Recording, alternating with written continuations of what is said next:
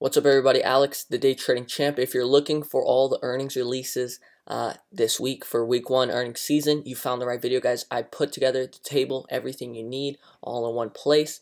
Um, and then we're going to give you our initial thoughts and a couple trade setups we've already got planned for next Monday. So, with that being said, if you like trading ideas, plans, and videos like this, this is absolutely the channel for you. So, make sure you're subscribed and then drop a like if you enjoy uh, what we're going to do here. Okay, with that being said, let's get right into it. Okay, so guys, here's the earnings table for the week. All right, we got so many. All right, so this is awesome because it gives you tons of trading ideas. Okay, so what I have here is just color coded uh, in blue and pink. Okay, so last week you remember I color coded them by sector.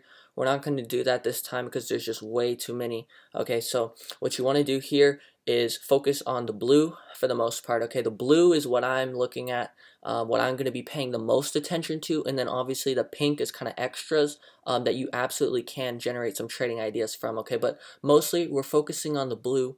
Um, these are more of the heavy hitters going into the week, okay? And we've already got a couple ideas actually planned. Okay, so um, you're going to see we're actually about to go over a couple trading ideas we have um, for Monday, okay? So, you know, that's actually before some of these earnings releases okay and I want to share those with you right now okay so headed into this week guys I'm gonna let you know right now we've got a very bearish outlook uh, for pretty much everything all across the board. I mean if you're not comfortable shorting uh, you know this might not be the best week ever for you okay and you might want to sit out a little. Well obviously there's gonna be some plays to the long side but uh, for the most part uh, most of these are looking pretty bearish and we're definitely gonna be ready to short uh, when we need to okay? So with that being said let's get into the first uh, trade we were looking at EW, EW, okay, and you can see this on Monday, we're actually looking to possibly short it. Now, this stock does not have the greatest trading range ever. You see the most it'll ever move in a day is like, you know, two-ish, three points, okay, so uh, the strategy here on Monday is most likely not going to be to go out of the money at all. You actually want to go at the money or just barely out of the money. Okay, sell so by one strike. Okay, so say this thing opens at 85 on Monday, you'll be wanting to buy probably 85 strike puts. Okay, and what I like about this is, yeah, the daily trading range is not so significant here. But what you do have is a very high probability uh, for a move to the downside. Now, what I want to say is that this is not some trade that's going to take you from 2K to 10K here. Uh, this is just some, you know, guaranteed cash. Okay, so if you're looking for a heavier hitter going into this next week, um, I would actually save that day trade, right, if you only have three, and, and wait for another uh, trade we're posting. Okay, these are just a couple trading ideas I've got, and this actually has really nothing to do with earnings, even though it is one of the earnings plays we have here that's releasing on Wednesday. Okay, but I really like this chart for Monday short. Okay, and honestly, everything is pretty much shortable uh, next Monday. It looks like as of now. Okay, so I really like the chart here. You got dying momentum on the MACD, distribution. I mean, everything is just perfect here. Okay, so we're not going to get into all the details. This video is going to be long enough as it is. Okay, so that's the first trading idea we've got planned, and we're about to get into the second trading idea we've got planned, which is actually also going to be another short play um, on Monday. So let's get right into that one. Alright guys, before we get into that next trade, I just want to point out that I might have missed a couple of stocks on this earnings table, but you have to realize this is what I believe to be the best earnings table for options traders specifically, right? Because with options, uh, the benefit of them is being able to leverage so that way you can trade these higher price stocks. Okay, so we like to put a lot more of, you know, 100 plus dollar stocks on here um, as opposed to you know penny stocks that are like five or two dollars that you might be anticipating to buy shares on uh, after earnings. Okay, so it's a different style. Okay, and this is more directed for options traders. Okay, so with that being said, we're gonna get into the next um, the trade that we got planned. And by the way, if you think I missed out on any important ones, just let me know down in the comment section below. Okay, so APH is the next trade we got planned. Okay, so let me pull this one up. Alright, it's the same thing, kind of topping formation uh, with distribution at the top. Um, and it looks like it's very bullish, right? It looks like it's on a huge uptrend, but it's at the top end of its range. And there's just a lot of factors here. Okay, so we like this trade a lot too. Now, notice once again, not a crazy trading range here, but what you do have, once again, is a very high probability for a move lower. Right, so my confidence in these trades would be a 90% chance move to the downside on Monday. Okay, so you know, that's a very high probability setup. Now, is it the most profitable? No, but if you can secure some cash on a guaranteed trade, uh, we'll always take that. Okay, so like I said once again, if you're waiting to hit these bigger hits, right, like Tesla or um, you know one of those Netflix, you know, uh, then you probably want to save your day trades for those. But these for people who are trying to make, you know, some guaranteed quick cash. I think these are some very high probability setups that you should look into on Monday. Okay, so that's the second trade we've got planned for the day.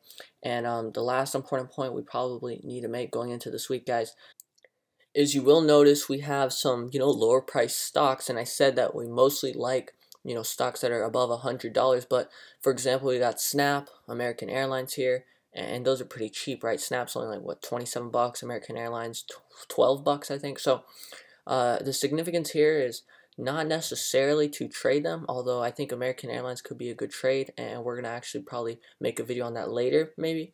Um, but the thing about Snap is not necessarily that you need to trade Snap, but understand that it's super important because if Snap drops, right, then what else will probably drop? Probably Facebook or you know some other kind of social media type thing. Okay, so that's why it's so important is uh, understanding that correlation there and, and understanding American Airlines is dropping. Then you know some other travel stocks might be dropping. Obviously, you don't want to hit um, United Airlines. Uh, because it already dropped last week after its earnings. Okay, so you probably want something that hasn't um, hit its earnings yet. That would probably have a stronger reaction to American Airlines. Okay guys, I wanted to point out something interesting about this EW chart. Okay, so you'll notice here that the bottom uh, would be 74, 75. Okay, and what you'll notice here on the option chain is there's 115 contract volume on 75 strike. Okay, so obviously there's like no volume on any of these contracts here. Okay, but there's some decent volume, and you'll see it ramp up a little next week. These will be tradable. Okay, don't worry. Um, but it's just interesting to see that you got this big volume on the 75 strike. So someone might be expecting uh, their earnings to be bad here, okay, and them to drop off coming here. So, you know, that's not necessarily a fact or anything. That's just kind of a neat observation, uh, but obviously nothing to take your trade uh, based off of.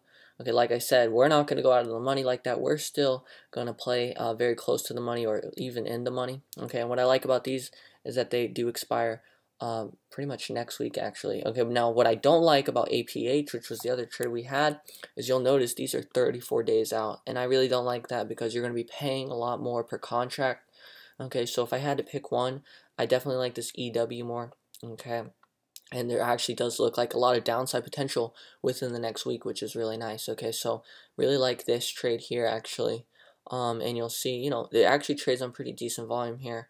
Obviously, the market's closed. It's Saturday here, so you're not going to get a good read on what they're actually, you know, the contracts are going for. Uh, but I definitely like that trade. I'm sure you've never heard of that stock.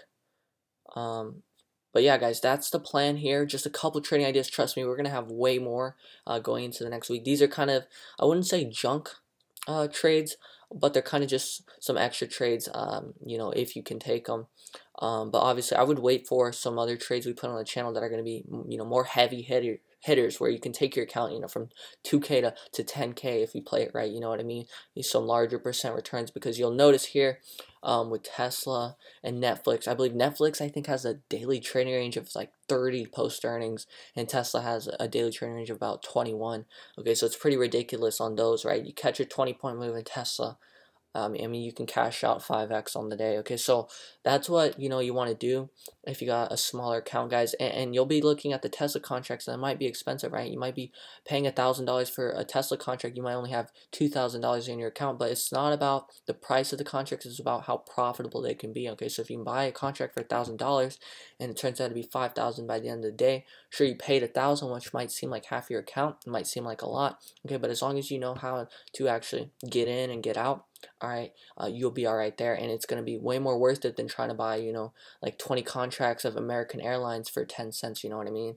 And and that's actually not a good example because American Airlines is pretty sweet, and I'll show you why here. Okay, so you'll see American Airlines trades at you know 1246 uh, what we usually consider a junk stock. But here's the thing about American Airlines is it has a daily trading range of about two dollars post earnings, I believe. Okay, so when you realize that this thing can move two dollars, two dollars out of twelve, uh, guys, that's what almost twenty percent in one day. Whereas a 20 point move in Tesla is not even close to being, you know, 20% uh, of the share price. Okay, so uh, there's different ways to look at it. Uh, usually you want to look and measure in, in, terms of percentage okay and, and that's going to give you a lot better um, ideas when it comes to which stocks you actually should be trading because you see a lot of people making the mistake of trying to trade options on these you know two dollar three dollar stocks and, and, you know that means for it to go up one dollar it's going up 25% which is pretty ridiculous. Usually you don't see stocks go up 25% in a day right? So it's all about knowing your stock and how much it can actually move in a day and that's how you'll know what what you know stocks are going to be good to trade options on if you've been making that mistake of trading uh, the wrong stocks. Okay, so uh, try to focus on what we have here in the earnings table. Okay, um, and if you got the time, these pink stocks, you might find something really nice there. Okay, so let me know um, if you find a trade you think I'm missing. Obviously, we got a, a ton planned, and like I always say, make sure you have that bell on so you don't miss out on next trading idea. Alright guys, if you got any questions, anything you think I missed that I should touch up on, uh, you got any video ideas, anything for me, just let me know guys. And I want to see some of you starting to uh, plan some of your trading ideas in the Reddit we have, okay? Um, Alright guys, if you're one of the day trading champs that made it to the end of the video, big thank you to you. I really appreciate it. Alright, let me know if you made it to the end, and obviously you, you need any help with anything, just let me know. Alright, that's what I'm here for. Uh, guys, drop a like if you haven't yet, and then obviously make sure you subscribe so you don't miss out on the next trading idea idea that's going to help you, okay?